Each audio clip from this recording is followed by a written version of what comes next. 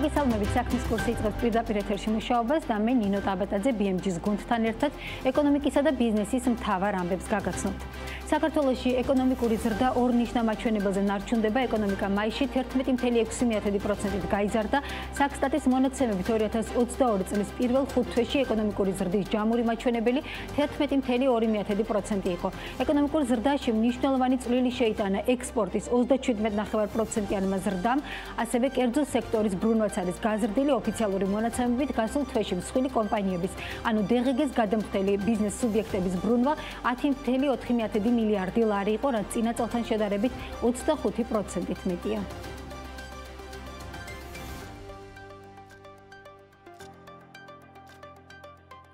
ტრანსპორტისა და დასაწყობების სექტორში ზრდის ტენდენციები დაკავშირებული იყო როგორც სახმელეთო, ისე საჰაერო ტრანსპორტის ფუნქციონირებასთან, თუმცა განსაკუთრებით აღსანიშნავია სატვირთო ტრანსპორტის მაჩვენებლის ზრდა სხვადასხვა მიმართულებით.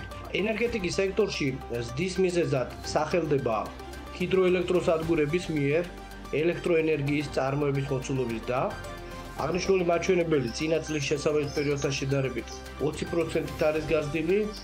ზრდის ტენდენციები შეინიშნებოდა ასევე საფტუმროებისა და რესტორნების სექტორშიც, რაზეც დასაკვირველია უდიდესი გავლენა მოახდინა საერთაშორისო ვიზიტორების მიერ განხორციელებული ვიზიტების რაოდენობის და დამამუშავებელი მრეწველობის სექტორში ზრდის ტენდენცია ძირითადად დაკავშირებული იყო მინერალური სასუქების, კვების პროდუქტების და სამშენებლო მასალების წარმოების ხოცლობის გაფართოებასთან, ასევე მეტალურგიულ მრეწველობასთან დაახლოებით 52%-ით გაიზარდა ფეროსილიკომანგანობის ექსპორტის მაჩვენებელი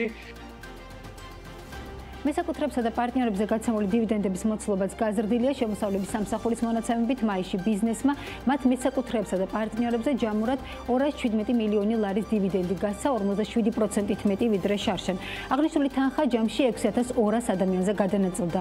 აღსანიშნავია, რომ 100000 ლარზე მეტი დივიდენდი მაისში აიღო 3900 ადამიანმა, 100000 ლარზე მეტი დივიდენდი კი 373-მა პირმა, მათზე 147 მილიონი ლარის განაწილება მოხდა. სულ 5 თვეში დივიდენდის სახით მილიარდ ლარზე მეტია გაცემული.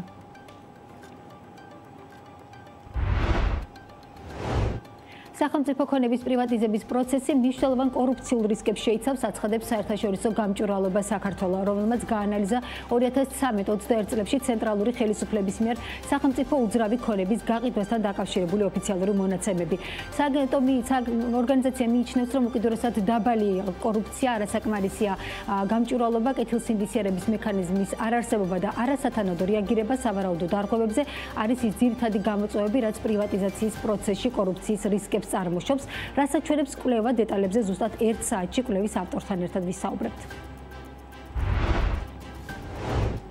წყალტუბოს ახალი სიცოცხლე მთავრობა კურორტის განახლების გეგმის წარდგენისთვის ემზადება. ღონისძიება ივლისის პირველ ნახევარში გამართება ღონისძიების ორგანიზებისთვის ქონების ეროვნული სააგენტო 180000 ლარიან გამარტივებულ შესყიდვას ითხოვს. სწორედ აქ მოხდება პოტენციური ინვესტორებისა და საზოგადოებისათვის აუქციონზე გასატანის საინვესტიციო პაკეტების დეტალური ინფორმაციის წარდგენა. ამ დროისათვის წყალტუბოში გასხვისებულია 7 სანატორიუმი გასაყიდია კი 15 აღსანიშნავია რომ მას შემდეგ რაც საქართველოს ყოფილმა პრემიერ-მინისტრმა 2019 წელს წყალტუბოს აღორძინება დაანონსა და განაცხადა, რომ მზად იყო ყველა სასტუმრო და სანატორიუმი გამოისყიდა, სახელმწიფო ქონების ეროვნულ სააგენტოს არც ერთი აქტივი არ გაუყიდია.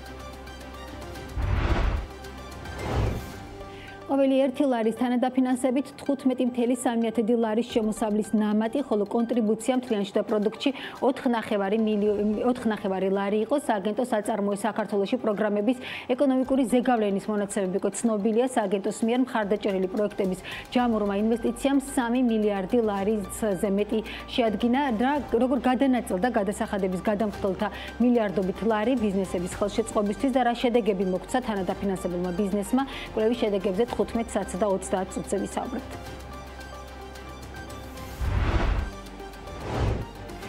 გადაწყვეტილებების დეცენტრალიზაციის გარეშე სახელმწიფო უწყებებში ბლოკჩეინ ტექნოლოგიების დანერგვას დიდი მნიშვნელობა არ აქვს, მიიჩნევს ალტე უნივერსიტეტის ციფრული ტრანსფორმაციის ცენტრის დირექტორი ნანა დიხიმინჯია.